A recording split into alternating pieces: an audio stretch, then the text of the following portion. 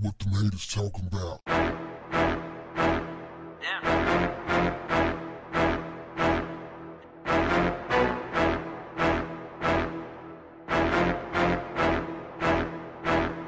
What's up, family?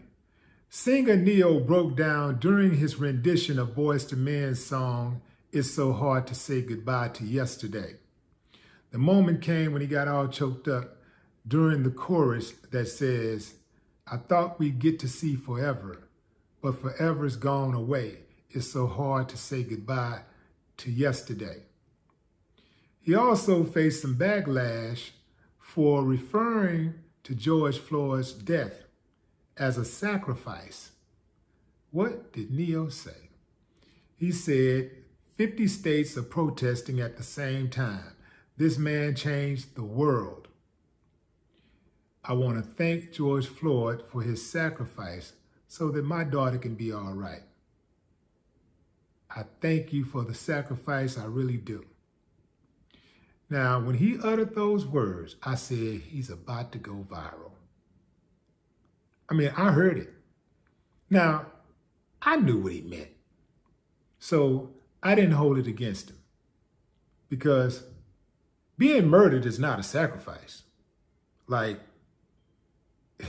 you minding your own business or you're coming out of a store uh, and you get arrested for a misdemeanor and a police officer puts his knee on your neck and basically leaves it there, applies pressure until the air leaves your body. That's not a sacrifice. That's murder. That is a tragedy. Now, a lot of people went in on Ne-Yo. Well, how you gonna say that's a sacrifice? Not a sacrifice. Yeah, you know, that is not a sacrifice. You don't sacrifice like that. Da, da, da, da, da. I was surprised that so many people attacked him. I, I, I knew it was gonna be a viral moment, but I didn't think that people was going to be so venomous. I thought a lot of people would probably try to figure out a way to make a joke out of it because, because you know us, man. We can make a joke out of anything. But I was there and I didn't see anything particularly wrong with what he said. Yeah, he could have worded it better. I'm saying, well, put it like this. I didn't see anything that was malicious about what he said. I felt like he's he could have chosen a better, uh, you know, a, a, a better way to say it. He could have done that, but he didn't. And as far as I'm concerned, what he said was harmless. I think it could have been nervous energy.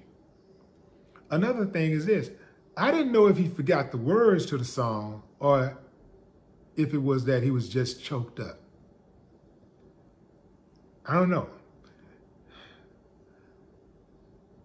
I would have thought he'd been able to get through the song. I understand it's an emotional time. Now, if George Floyd was a family member and, you know, a friend, a close friend, I could perhaps see that because now you're singing these songs and these words and they got way more meaning because you have these personal relationships probably spinning in your head at the same time you're singing a song. You, you, you got these moments that you guys had together and you're thinking about this stuff. It's playing out in your head while you're singing. And I can see perhaps not being able to get through it. And I don't know why people do that anyway. Like I know people that know people personally and they'll come to the funeral and they sing these songs or they, you know, they give a speech and they can't get through it.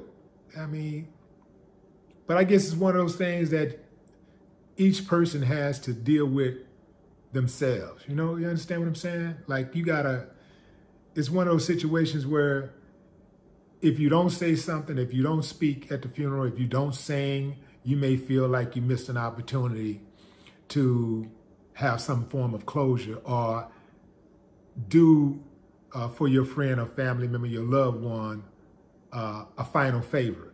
You know, because oftentimes we do things based on what we think the deceased would like, right? So I get it. I get it. It's one of those, it's, it's an individual call. I don't know if I could have done it though, like speak for somebody that I know really, really close. Well, I've been able to do that, but I'm talking about singing is something different because you got to be on note. Like, you, you, you gotta, you don't get to stop and cry, you know, or get yourself together when you're singing, right? You're supposed to be able to get through it. But nevertheless, I didn't really see that big of a problem with it. So I'm going to go ahead and say that I'm with Ne-Yo on this. And I would say, you know, lay off the dude. I mean, the dude came all the way to H-Town to attend the funeral. He didn't have to do that. Uh, he's a superstar already. He can get attention anywhere he go. So I do believe that what he said came from the heart. It was a good gesture. It was all positive. There's no reason why his name should be attached to something negative.